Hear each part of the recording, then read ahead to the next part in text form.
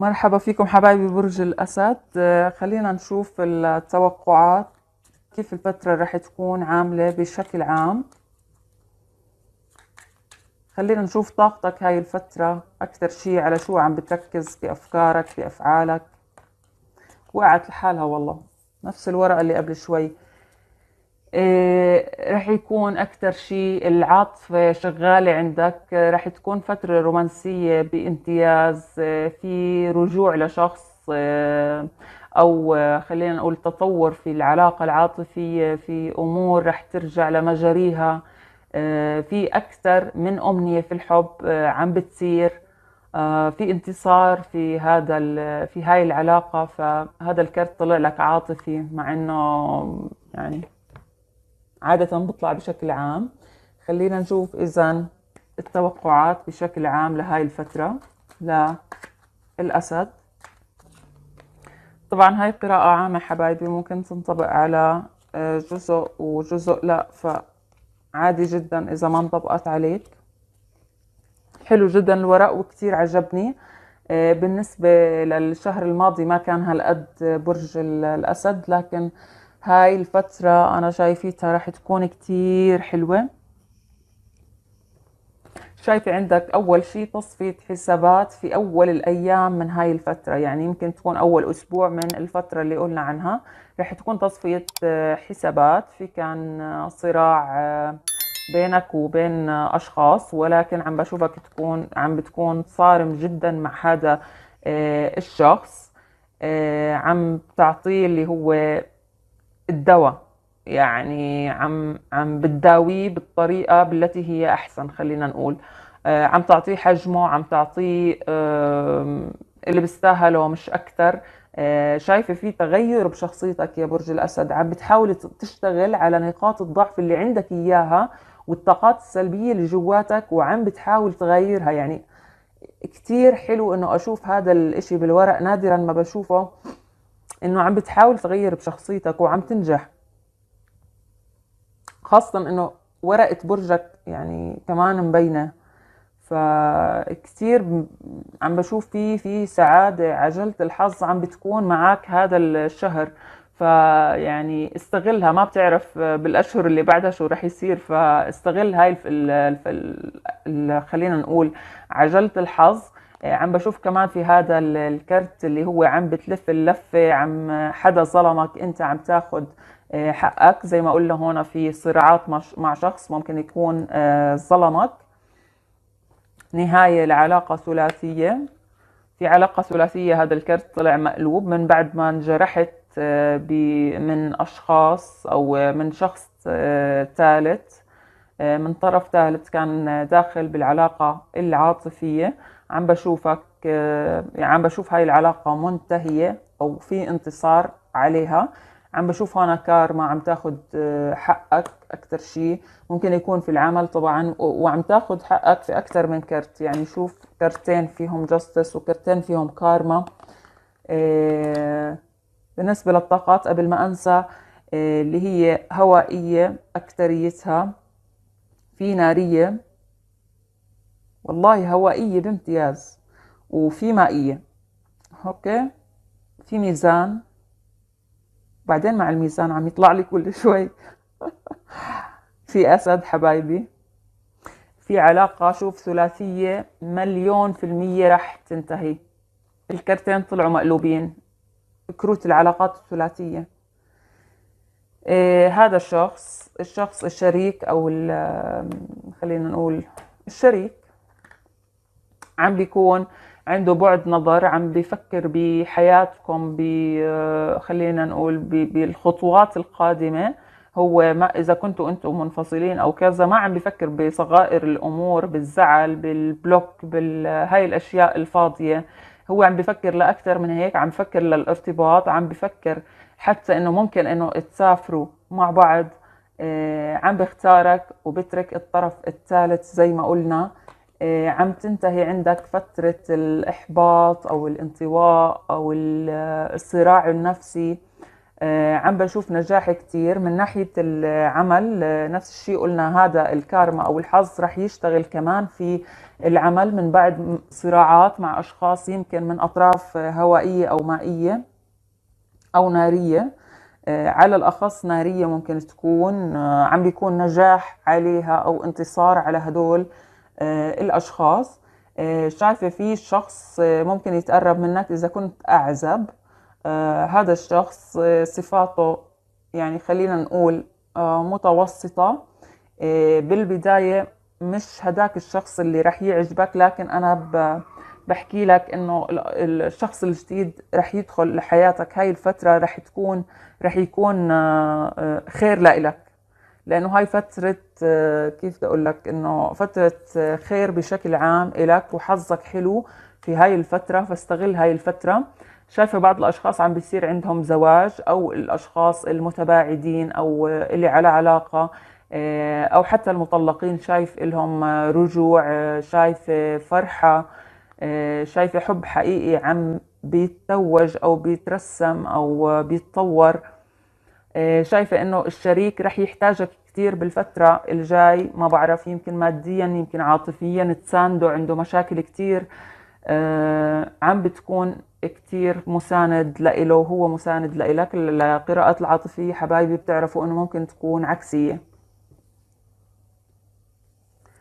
آه، إذا أكثر إشي مسيطر على الأسد هاي الفترة الأمور العاطفية وممكن يكون في عنده سفر.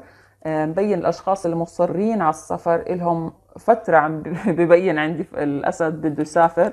ففي آه، هاي الفترة في فرصة حلوة للسفر أو تخطيط أو مراحل حلوة عم بتصير من ناحية السفر.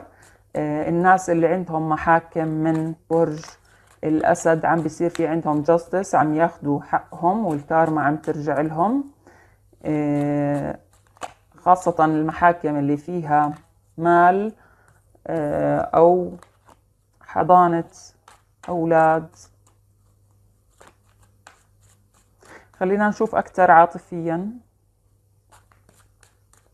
لأنه دائما بتحكوا لي بدنا شوي عاطفيا أكثر أو قراءة عاطفية منفصلة. رح أحاول إنه نعمل يعني عاطفية منفصلة. شوف حبيبي برج الأسد عم بتكون كتير مبسوط نتيجة الأمور اللي صارت. آه، في عندك ال... يعني في في أمور رح تصير أو اكشنز أو أحداث في العلاقة العاطفية رح تكون كثير مبسوط. عم تتفرج عم تتفرج على اما طرف ثالث أو الانتصار على الطرف الثالث لأنه مبين عندي ذا لافرز آه، في رجوع أكيد وفي آه، آه، حتى الناس اللي, موجودة مع بعضها من الأصل في تطور في المشاعر خلينا نقول أو في العلاقة. ولكن في طرف ثالث عم بيكون مش متواجد ولكن عم بيراقب مش عاجبه. هذا الطرف الثالث. شايف الشريك طبعا بالعلاقات العاطفية بضلني أرجع أقول إنه ممكن تكون عكسية. آه، الشخص آه، أنت أو الشخص الآخر ممكن إنه يعني شايفيتكم حتى الاثنين مندفعين آه، ناحية بعض في نهاية لطرف ثالث. ذا ديث لطرف ثالث مع إنه عم بيحاول بشتى الوسائل إنه ينتصر ولكن شايفة نصر بهاي الفترة على هذا الطرف الثالث. المال بين عنا حتى بالقراءة العاطفية فهذا بيكون آه، في وفرة مالية حلوة كتير. لبرج الأسد. النساء آه، من برج الأسد عم بشوف عملية تجميل عم بتمر على خير وعم آه، بتكون ناجحة كتير. في مال رح يجيك إما من ترقية في العمل أو من عمل إضافي أو حتى فرصة عمل جديدة. هاي المشكلة اللي أنا قلت عنها اللي راح تصير عند الطرف الثالث وراح تنتصر عليه. فالطرف الثالث ما راح ينتهي بسهولة راح ينتهي نتيجة مشكلة كبيرة نتيجة موضوع كبير راح ينفضح راح في أمور هو كان يعملها مبين هون أمور ممكن تكون أعمال وشغلات. آه، هو السبب كان في خذلانك بالفترة الماضية أو كان منتصر عليك والآن أنت عم تنتصر عليه شايفة أكثر شيء. آه، شايفتك منور مستشفي من الطاقات السلبية آه، فرحان مبسوط منتصر هاي الفترة فكتير ورق حلو لبرج الأسد. إن شاء الله يا رب إنه ينطبق على أكبر عدد. خلينا نشوف إذا في تحذيرات أو شيء في هذا الورق.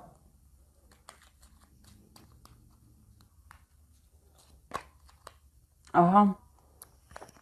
عم بشوفك آه، عم بشوفك برج الأسد معك مفتاح. مفتاح بيت مفتاح قلب الحبيب. في معك مفتاح معين آه، إما مسكن جديد أنت رح تمتلكه. آه، أنا أكثر بشوفه عاطفيا قلب الحبيب أنت معك المفتاح تبعه.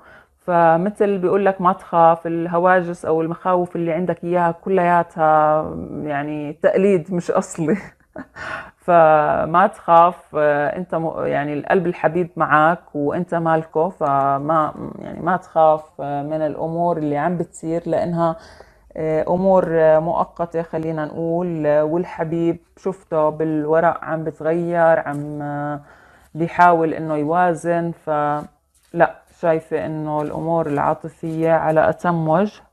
كمان بالعمل الورق كان حلو كان في انتصار ف نكون متفائلين هاي الفترة لأنه الأسد له فترة وهو سوداوي شوي أو متشائم خلينا نقول ومعاه حق. يعني هو من بداية السنة كانت تصير معاه شغلات شوي متعبة طعنات من أشخاص. آه سيلفورث. بقول لك حب حالك يا حبيبي. بقول لك أنت بتستحق الأفضل. أنت بتستحق أفضل ما أنت آه عليه. يعني آه فأعطي لحالك قيمة اهتم بحالك أكثر من جوا أنا عم بقول. من برا طبعا الأسد معروف بالتألق والأناقة والكذا. آه، بس أنا عم بقول من جوا. من جوا آه، أكثر حب حالك آه، مش الموضوع ما في أنانية أو كذا. بيقول لك أنت بتستحق الأفضل. اختار الأشخاص الأفضل. استغني عن الأشخاص اللي مش اللي هم سامين في حياتك. فحاول تكون عقلاني شوي بكفي يعني نفكر كتير بقلبنا وننسى موضوع العقل. عفوا. آه. في شخص عم بيراقبك كتير بشكل مش طبيعي بحب بشغف آه، عم بيمثل إنه هو ما بده إياك أو بده يبعد أو كذا بس هو عم بيراقب من ورا لورا. فيعني شيء كتير حلو. بقول لك بقول لك إن هون إنه كثير أنت قوي وراح تكون قوي في الفترة الجاية راح تكون الأمور آه، زمامها في إيدك أنت مش على العكس زي ما كانت آه، ب بإيد الأطراف الأخرى. بهاي الفترة راح تكون آه، بإيدك فكون مستعد لهذا